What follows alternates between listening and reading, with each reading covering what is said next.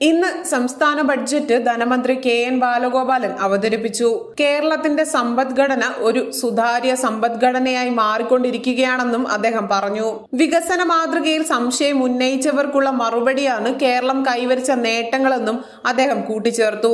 പശ്ചാത്തല മേഖലയിൽ വിപ്ലവകരമായ മാറ്റങ്ങൾ ഉണ്ടാക്കിയെന്നും അദ്ദേഹം പറഞ്ഞു എട്ടു വർഷം മുൻപ് കണ്ട കേരളമല്ല ഇന്നത്തെ കേരളമെന്നും മൂന്ന് വർഷക്കാലം കൊണ്ട് ഒരു ലക്ഷം കോടിയുടെ നിക്ഷേപം ആകർഷിക്കുമെന്നും മന്ത്രി പറഞ്ഞു. കേന്ദ്രത്തിന്റെ കടുത്ത അവഗണനയിലും കേരളം പിടിച്ചു നിൽക്കാൻ ശ്രമിച്ചു. അതുകൊണ്ട് തന്നെ ഇനിയെങ്കിലും പ്രതിപക്ഷം ചെറിയ തോതിലെങ്കിലും പ്രതികരിക്കണമെന്നും അദ്ദേഹം പറഞ്ഞു. സംസ്ഥാന സർക്കാരിനെ മാത്രം ഏതു നേരവും എതിർക്കാൻ കേന്ദ്രത്തിന്റെ നയങ്ങളോടും എതിർപ്പ് കാണിക്കാം. തകരില്ല കേരളം തളരില്ല കേരളം തകർക്കാനാകില്ല കേരളം എന്ന വികാരമാണ് ധനമന്ത്രി ബഡ്ജറ്റ് പ്രഖ്യാപനത്തിൽ പറഞ്ഞത്. എട്ടു വർഷം മുൻപ് കണ്ട കേരളമല്ല ഇന്നത്തെ കേരളമെന്നും അദ്ദേഹം പറഞ്ഞു. പുതിയ ബഡ്ജറ്റിൽ എന്തൊക്കെ മാറ്റങ്ങളാണ് കൊണ്ടുവന്നിട്ടുള്ളതെന്ന് നമുക്കൊന്ന് നോക്കാം. ഗതാഗത മേഖലയുടെ സമഗ്ര വികസനത്തിനായി ആയിരത്തി തൊള്ളായിരത്തി എഴുപത്തി ആറ് ആയിരത്തി തൊള്ളായിരത്തി എഴുപത്തി ആറ് കോടി രൂപ അനുവദിച്ചു. ഗ്രാമീണ റോഡുകളുടെ വികസനം വേഗത്തിലാക്കും.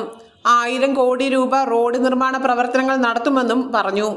ദീർഘകാലം പ്രശ്നമായിരുന്ന K S R T C അതിലേക്ക് നൂറ്റി ഇരുപത്തി എട്ട് ദശാംശം അഞ്ച് നാല് കോടി രൂപ അനുവദിച്ചിട്ടുണ്ട്. ഇതിൽ തൊണ്ണൂറ്റി രണ്ട് കോടി പുതിയ ബസ്സുകൾ വാങ്ങാനായാണ് അനുവദിച്ചിരിക്കുന്നത്. മൂന്ന് വർഷത്തിനിടെ കെ എസ് ആർ ടി സിക്ക് നാലായിരത്തി തൊള്ളായിരത്തി പതിനേഴ് ദശാംശം ഒൻപത് രണ്ട് കോടി അനുവദിച്ചിരുന്നു. തുറമുഖ വികസനത്തിനും കപ്പൽ ഗതാഗതത്തിനും എഴുപത്തിനാല് ദശാംശം ഏഴ് കോടിയും വക മാറ്റിയിട്ടുണ്ട്. കൊല്ലം തുറമുഖ വികസനത്തിന് പ്രത്യേക തുക വകവരുത്തി ചെറുകിട തുറമുഖങ്ങൾക്ക് അഞ്ചു കോടി രൂപയും വകവരുത്തി കാർഷിക മേഖലയ്ക്കായി ആയിരത്തി അറുന്നൂറ്റി തൊണ്ണൂറ്റി എട്ട് ദശാംശം മൂന്ന് പൂജ്യം കോടി രൂപ ബഡ്ജറ്റിൽ വകയിരുത്തി. കേര പദ്ധതിക്ക് മൂവായിരം കോടിയും ലോക ബാങ്ക് സഹായത്തോടെയുള്ള കൃഷി വകുപ്പിന്റെ കേര പദ്ധതിക്ക് പശ്ചാത്തല സൗകര്യങ്ങൾ ഒരുക്കുമെന്നും മന്ത്രി പറഞ്ഞു.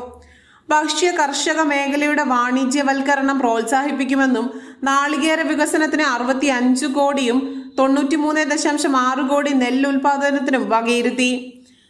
നാളികേര വികസന പദ്ധതിക്ക് അറുപത്തി അഞ്ച് കോടി സുഗന്ധ വ്യഞ്ജന കൃഷിക്ക് നാല് ദശാംശം ആറ് കോടി ഉൾനാടൻ മത്സ്യബന്ധനത്തിന് എൺപത് കോടി എന്നിങ്ങനെ അനുവദിച്ചു. സുഗന്ധ വ്യഞ്ജന കൃഷിക്ക് നാല് ദശാംശം ആറ് കോടിയും വിളകളുടെ ഉൽപാദനശേഷി വർദ്ധിപ്പിക്കാൻ രണ്ട് കോടിയും കുട്ടനാട് പെട്ടിയും പയറും സ്ഥാപിക്കാൻ മുപ്പത്തി ആറ് കോടിയും വകയിരുത്തി.